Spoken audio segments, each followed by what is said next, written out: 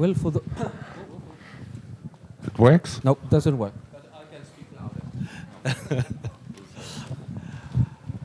All right. So, uh, as I told you, uh, the Wolves now are in uh, in Canada, and uh, they're happy if you like the performance. Um, but I'm here to answer your questions, so feel, please feel free. Uh, all the questions are good.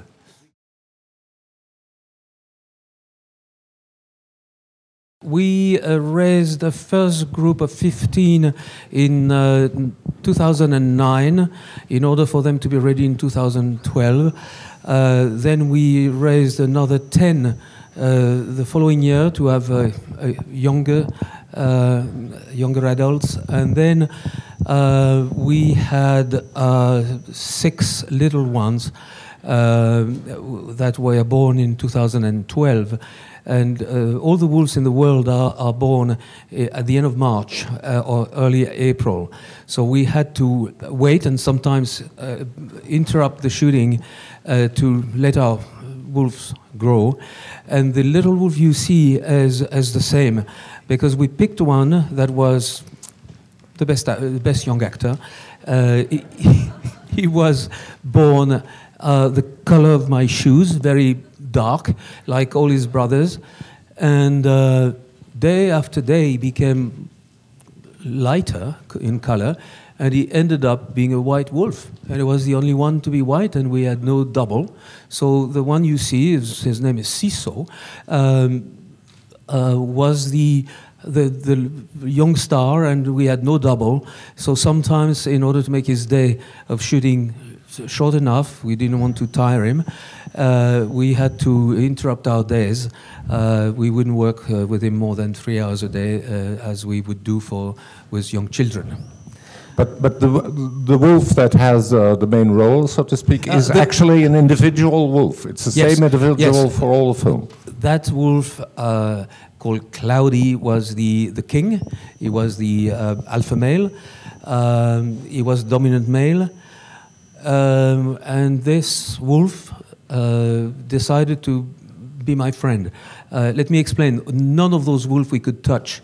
It was, uh, it was a big problem because uh, sometimes they would. Um, uh, they, they love smelly things, and when there was something smelling on the set, they would uh, rub and carry it for weeks on their fur. No way we could um, use a broom; they would eat the broom. Um, and if you do it with your hand, they would eat the hand. So they were very, very difficult animals. But that wolf, first time he saw me, uh, came crawling very nice way, very humble, and came to me, started sniffing me, and then went on his back and offered his um, chest. So my, my, my trainer said, well, listen, this is very unusual, but you can give him a little caress, which I did.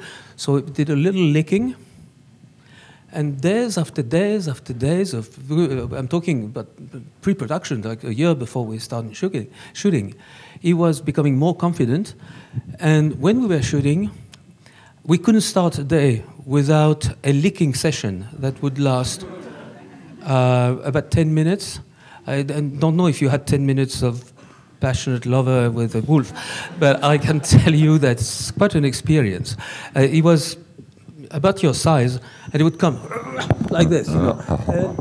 I would lick you if you know.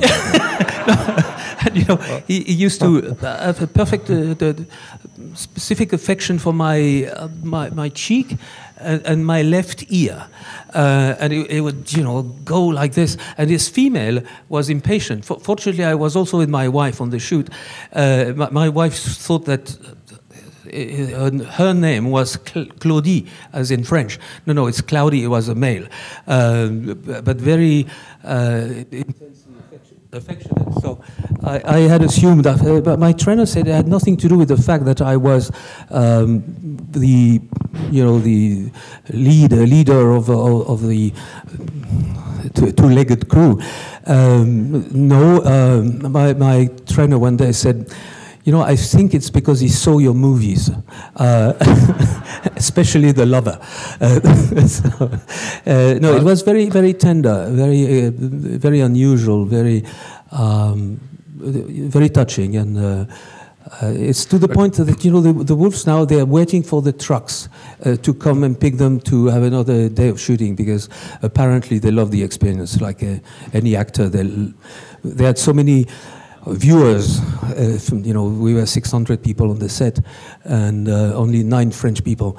Um, and the wolves adored apparently being on the set and being applauded and uh, being look, looked after. So now my trainer they said they, they are like retired people. They, they would like to start working again. Uh, and I, I hesitate to go and see see them because I'm afraid that I'll give them a, the wrong signal, saying, "Hey, I'm, I'm back. We're going to start again." And uh, um, I, I, don't like to do sequels. what is it you made? Uh, ah, it works. Um, uh, you made more films with animals in the main role, no, right? No, no, no, no, no. That's a coincidence. It happened uh, because years ago I did a, a, movie called Quest for Fire, where I was staging very sort of primitive behavior and, and of early man. And for that movie, I researched a lot into um, animal behavior and got so interested that I decided to do a movie called The Bear, where the main role was given to an animal. And um, I, as a matter of fact, I took great pleasure to uh, be patient enough to direct a very instinctive actor. And I realized I was learning a lot. Uh, and the movie I did after was precisely The Lover, and I know that I was I was dealing with a very young actress who'd never done a movie before, and I used basically the same technique, uh, just um, work on with instincts, and let her uh, guess what she would have to do. Um, so it's a learning process for me, but I don't want to do too many of those, you know, because I've, I've only done three movies uh, with animal actors, but uh, which some, is more than most people. What? Which is more than most people. Exactly, exactly. But I, I also done movies with monks, and a few people did that as well. Can, can we uh, speak a bit about the background of the film? The film was commissioned, among others, by the Chinese film company, corporation. It is called. Uh, how was it to work for, for a Chinese producer and, and working in China in general? Well, well listen, I, I, I, must say that I, I assume that I had a very unique experience. Uh, it has been incredibly friendly. Um, beyond my expectation. Uh, I, I, got great support in absolute freedom. Uh, I, I, insist on the fact that it's special, but it, I cannot deny, I cannot say anything else than um, being supported, being let free on the screenplay. I wrote the screenplay, you, four people, including me, so three uh, writers. We went through censorship in half an hour. Mm-hmm. Uh, no, I'm joking, three hours. Uh, uh, we, uh, I did the cast very freely. Uh, nobody visited me on the set, but people from Columbia Pictures who acquired the movie for the US, and uh, my producer went with them for an afternoon. Uh-huh. I was left free for the editing. Um, the, the, the, film, of course, has political subtext, which yeah. is no wonder because it's based on a novel that has a political subtext yeah. and has been published in the uh, People's Republic. Um, um, how did you deal with this political subtext? Were you, you know, I did anxious not to no, overstep the line, no. or I did it. I did it to my, to, to my taste. Mm. I, I, wrote the screenplay in France, uh, very, very freely, and you know, it's a very thick novel uh, with many different stories, and um, I realized uh, that they approached me because they wanted an independent eye, mm-hmm. and I they told me uh, uh, they told me that they had approached a number of important uh, Chinese filmmakers who didn't feel like uh, getting into that. Uh, I've been told. I now know most of them. I never asked. Uh, I, am trying to be polite, so I, I, didn't. I never asked my colleagues. Uh, but I have the impression that uh, they didn't know how to cope with uh, the animal aspect. They were not too sure about Mongolia as well, because Mongolia, Mongolian culture is as foreign to them as it is for, was foreign to me. Uh, you know, they, most of my Mongol actors didn't speak a word of Chinese. Uh, they didn't know Mandarin. Um, and um, I've often been told that uh, uh they needed my voice, my free voice, because the political aspect was not going to be uh, partisan or, or, biased, but uh, would be the an independent filmmaker. Um, and uh, you know, I've been the privilege to be very, very free all my life, um, and I think one of the reasons is if I'm not free, I just go. Um, I'm not interested anymore. So. Um, mm -hmm. But I, I, insist on the fact that you know it's quite uh, exceptional. I was um, uh, worried, um, especially when I showed the cut, final, the final cut to the censorship. I had to wait five five weeks, and I felt something was terribly wrong. As a matter of fact, um, no, they sent me a, a lovely letter, and um, the movie you've seen uh, tonight is exactly the same that the one has been shown in China. Uh, we enjoyed great success. We have 19 and a half million people that have seen it already. Um, it's a very populated country, of course, but it's still um, a very nice uh, result.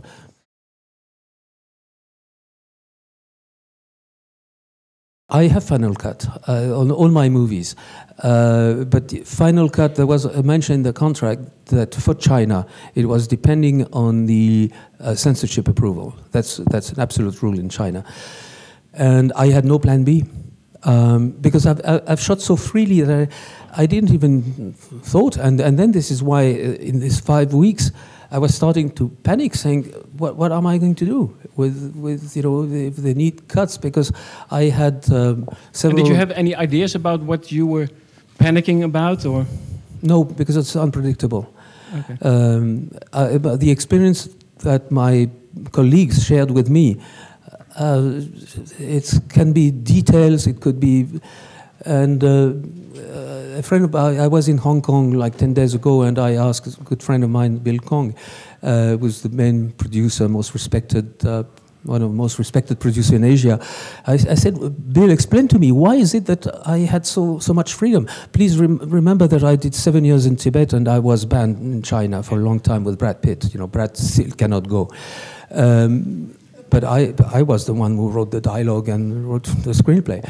Uh, and seven years in Tibet pictures has as a background the uh, Chinese conquest of Tibet in 1950. Right, right? yes. Um, and as a matter of fact, it seems that it played in my favor because they understood that. Um, first, they, when they approached me, they said, China, we, we have changed. And they also said something that was very simple. They said, We are pragmatics people, and uh, we don't know how to do this kind, those kind of movies, uh, so we need you. And I liked the simplicity of it. And they said, we need your eye, and we need your view. You can say things that we cannot say. Go ahead. And until the last, uh, you know, uh, I uh, was lucky enough at the end of the premiere uh, the, my, the financing party and the people from the ministry, uh, including the prime minister in front of television cameras, um, thanked me for the film. And the minister of culture said, uh, you know, don't worry about box office. It's a it's great. We love it. Come back anytime. Uh, and this is the first time, of course, I've heard someone putting money in one of my movies saying that box office was of no importance. Thank you. Thank you.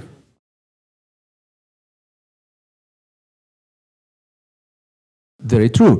Uh, for a very simple reason, when you put uh, local music, regional music, it becomes a documentary. Uh, music is devised to talk to your heart, therefore, it has to have a, a, a language that is a universal film language. This is why uh, James Horner and myself, we decided to put very little uh, Mongol music which we love. Uh, you may have heard some of Morin Khuur. Morin Khuur is this cello uh, with uh, strings made of uh, uh, the hair of a horse hair. Uh, a beautiful instrument. You may have heard also some long song, and we long songs are the sort of melody that Mongol people sing with full voice. It carries through the grassland. And you may have heard some uma, which is the uh, deep throat singing with two diphonic uh, sounds, but it's melted in the uh, main score. We recorded all that those songs uh, in Beijing with Mongol uh, singers. But uh, you know, the the real reason is the one I told you. When whenever you go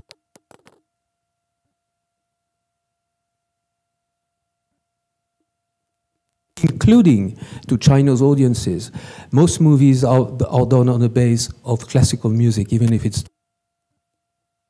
So we recorded with James Horner in, uh, with the London Symphony Orchestra in Abbey Road and Air Studio in London.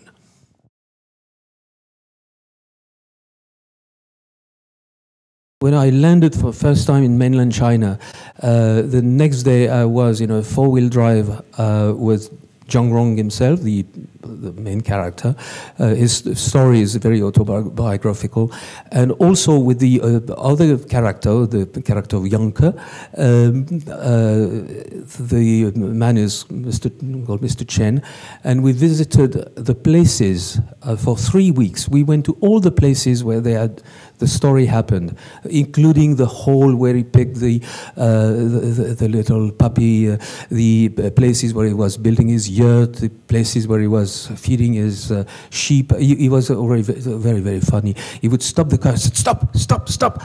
So he would get a, a piece of grass, he said, eat that, eat that. You know, this very, very good for the sheep. Uh, then the, the wolves know it, and, the, and then he would play the wolf uh, behind grass and show me how they were hunting. It was very, very sweet.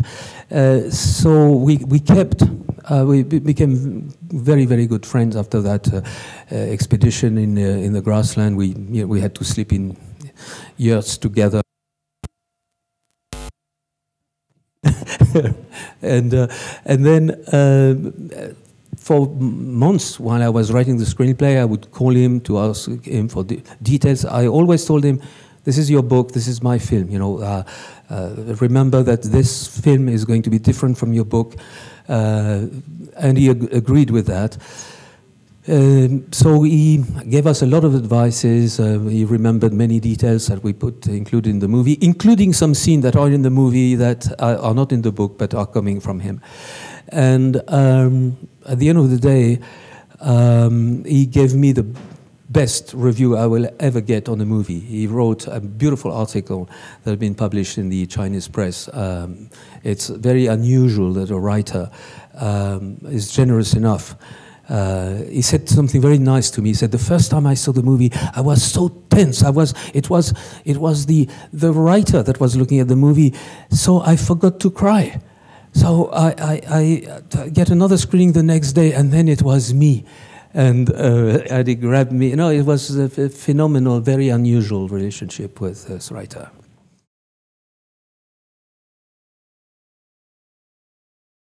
Uh, we were in a village. most of the film have been shot in around a little village called Wulagai.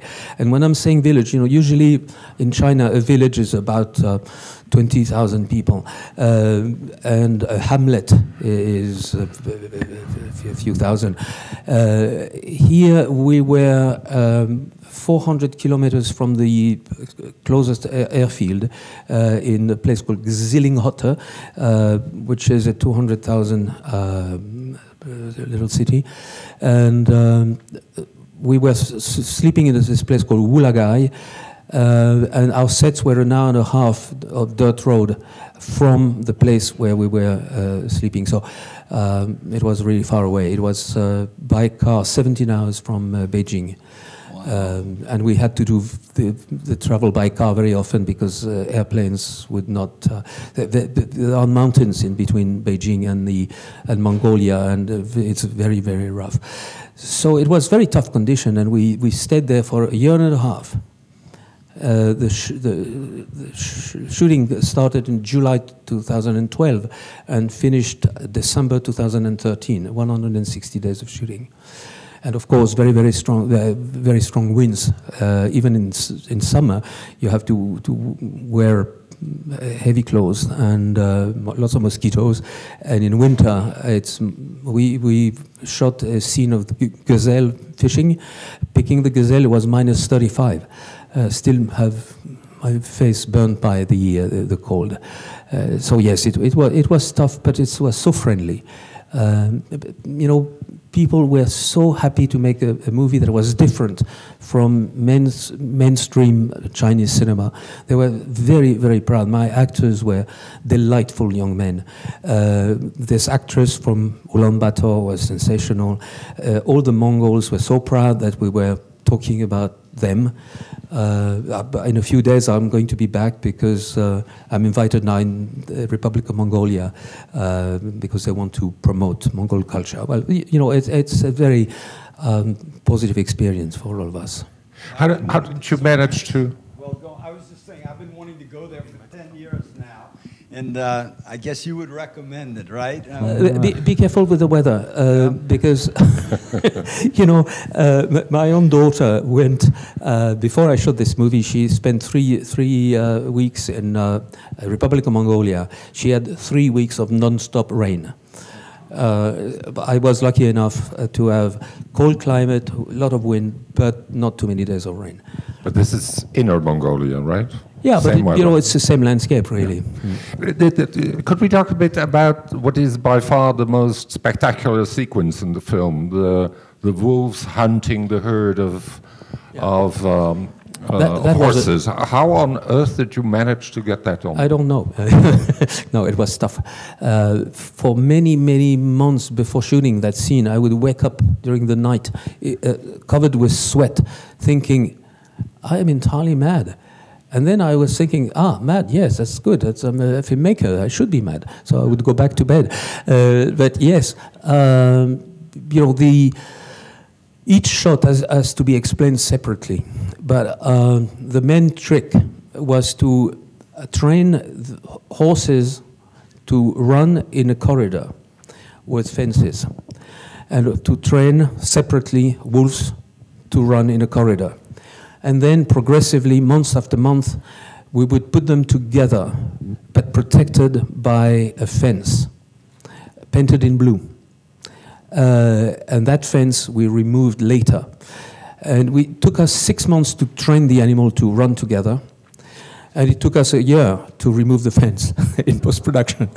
But what you have is real horses with real wolves in a real snowstorm with real wind and therefore the real interaction.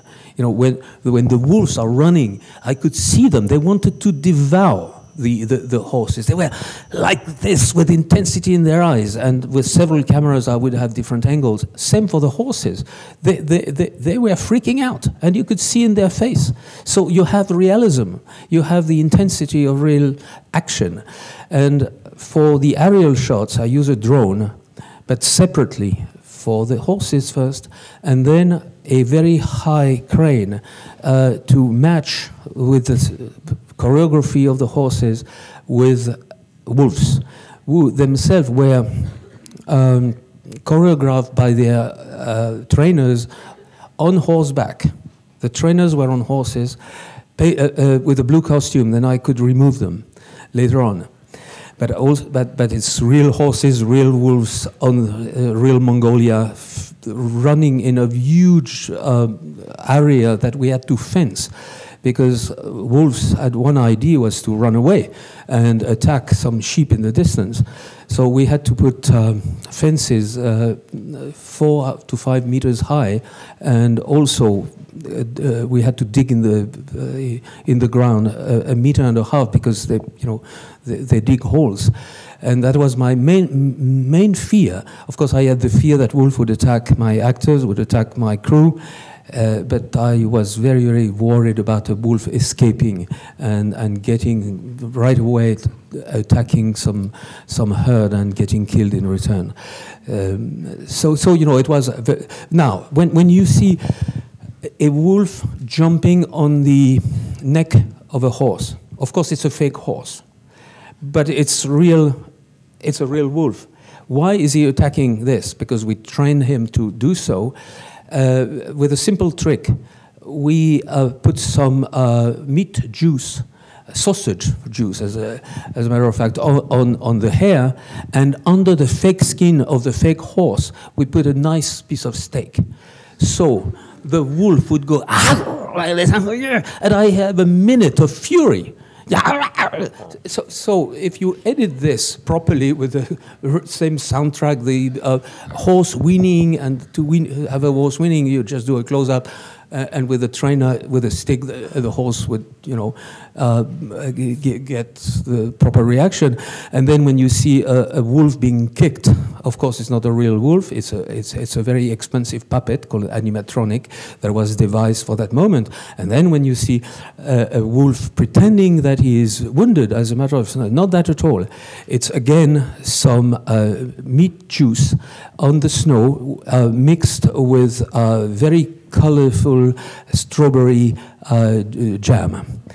Uh, but it gives a nice impression of, uh, of blood, and, and, and the wolves that this. And if you, instead of having, if you go, you've got a different scene, and this is how it works. the, uh, it has now become customary in, in, in uh, especially in American movies, to uh, as soon as one mouse appears in a film, to have a line in the credits saying that no harm got, no, no animal got harmed during the making of this movie. Sure. Could you say the same thing about your movie? Fortunately, yes, yes. Uh, we, you know, uh, I, I, had a, a, a, trainer who was in charge of safety uh, this man is the most famous uh, dog and hyena and fox trainer and wolf trainer in, in, in America. Um, if one animal got hurt, he'd lose his job forever. So um, it's why I just gave him, and I, I had to explain to my Chinese crew that we were making, uh, making it different. Uh, that we should treat uh, animal actors the same way that we are treating uh, the uh, two-legged actors, and we and we did.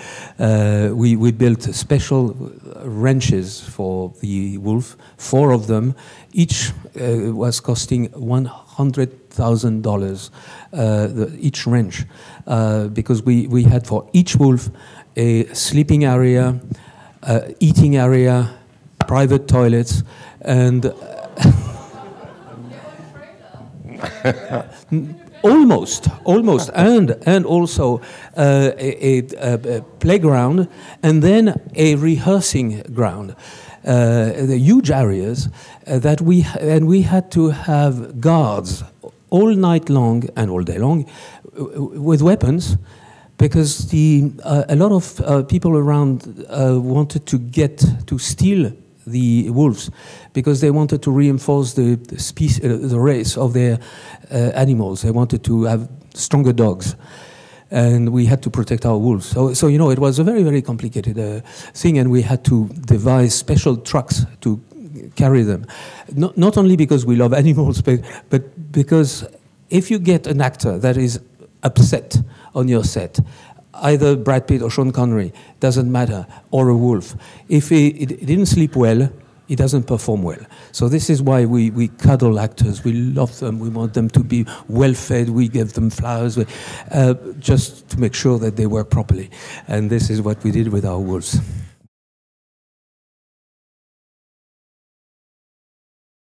First, I have to get the, the, the trust of those wolves because usually, you know, a, a wolf is a very cautious animal and it doesn't do what you want. If you whistle uh, uh, to a dog, the dog will run and come. If you whistle, the, wolf would run away uh, and disappear and hide for a, a day.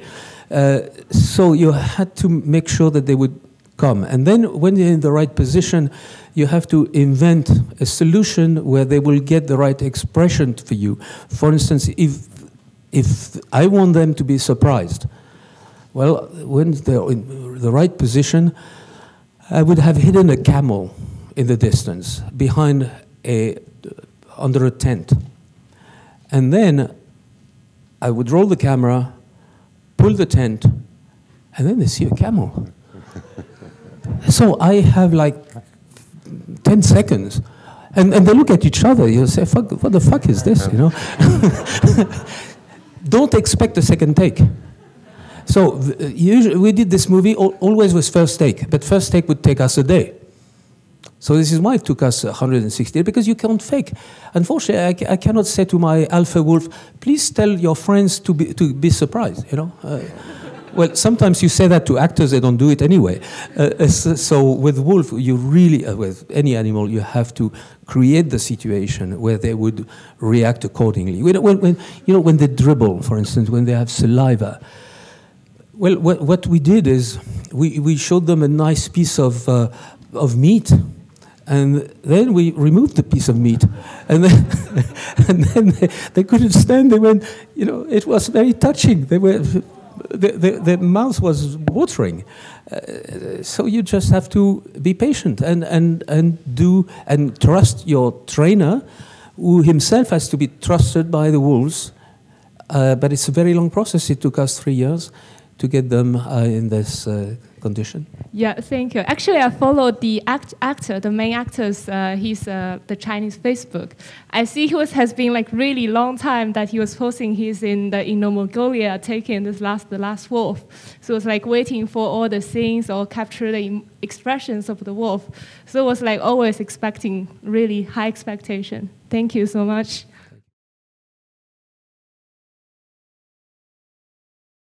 It's very difficult uh, with uh, Chinese accounting, to be sure. uh, uh they have declared uh, in some press release that it costed $90 million, but no. Uh, it, costed, it cost about 40 um, 40 to 45. Um, I worked with the, uh, the, China Film Group, and for instance, uh, the, you know, the movie is released also in uh, in 3D in some in some countries. I shot a third of it in 3D. Um, for the shots that were not in 3D, that were redimensionalized, I realized that uh, 2,000 people have been working on the on the case for a year. Uh, how much did they cost? Well, if it be in America, it would be about $10 million. Uh, I know it uh, officially costs only 800,000 for the redimensionalization. So I frankly don't know. What I can tell you is that they, there was a desire to, to make this film different from what they produced. They wanted very, very high quality. They wanted to show that in China, in Beijing, we could achieve um, top quality. And um, they gave me what I requested. You never had to worry about production costs? Not really. Great. can, I, can I ask one final question myself? Uh, we, we, talked about politics and we talked about um, uh, how, how the movie was made, etc. It is also a film with several messages on a political level, an ecological level, or whatever. What, what from your point of view, is the, the tendency, the message, the morals of the film? Well, you if know, there, if there is one. When I was approached, um, um, nobody talked freely about uh, the environmental problems in China. Uh, and basically, uh, they said to me, there are things we cannot say, but you could. So go, go ahead with what you feel. Um, so I did.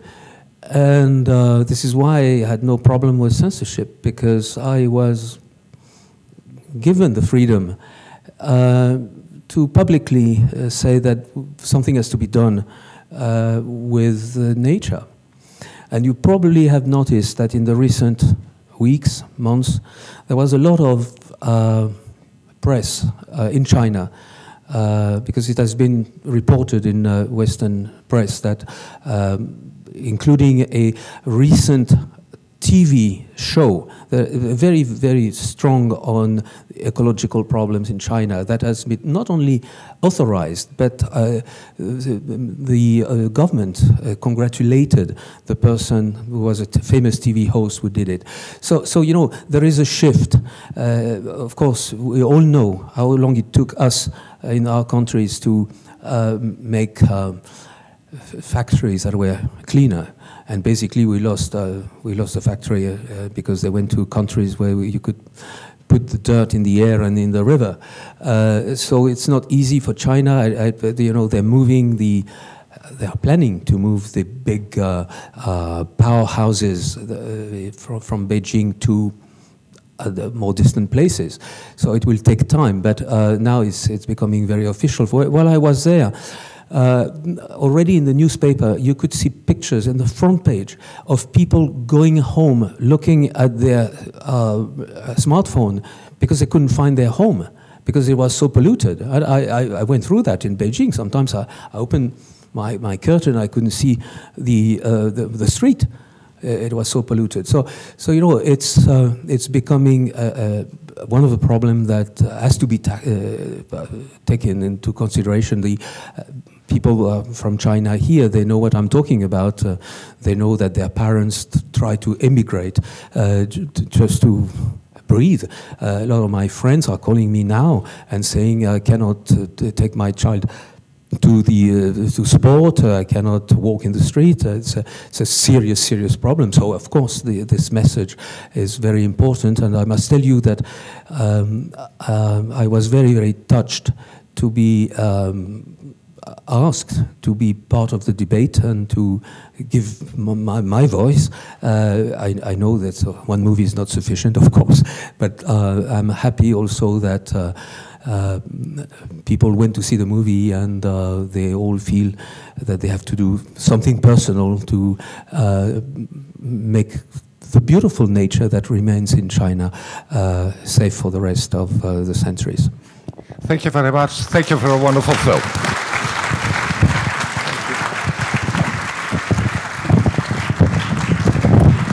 And for all of you, have a nice festival.